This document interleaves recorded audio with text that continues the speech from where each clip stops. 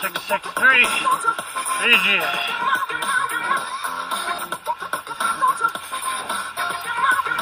Get out of the fucking crosswalk.